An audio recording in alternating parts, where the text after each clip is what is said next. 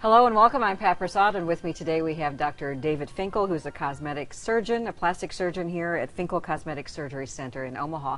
Here to talk about fat freezing today, which just intrigues me. What exactly is fat freezing? We are very excited. This is a brand new technology that was developed by two Harvard physicians and it literally freezes the fat out of your body. The fat cells die, and you get about a 20 to 25 percent reduction in the fat. Okay, permanently? Permanently gone. Those fat cells, once they're frozen, they die, and your body eliminates them over 8 to 12 weeks.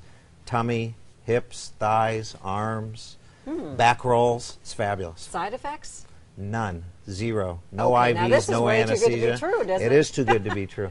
The, the only downside is you're only getting about 20 to 25 percent of the fat out, which is not a lot, ah. but you can do it again. I've had it done twice on my tummy, and I've done my little man chest too. so it is safe and effective, is what safe, you're saying. Safe and effective, and, and not does not involve a laser treatment. No, there's no laser involved. Actually, it's a large machine that has a refrigerant in it, and there's a mechanical head that sucks in the tissue, and there's panels in there that freeze the skin. And what these doctors developed is uh, technology.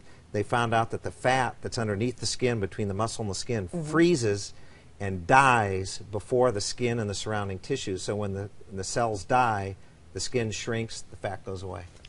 Wonderful, wonderful, wonderful. And the best part of it is that it is a permanent solution for a lot of people. Yes, and okay. there's very little downtime. And people literally have been in my office eating a chicken Caesar salad and watching TV or playing on their cell phone or computer while they're having the treatment. All right, doctor, thank you. And thank you for choosing momseveryday.com.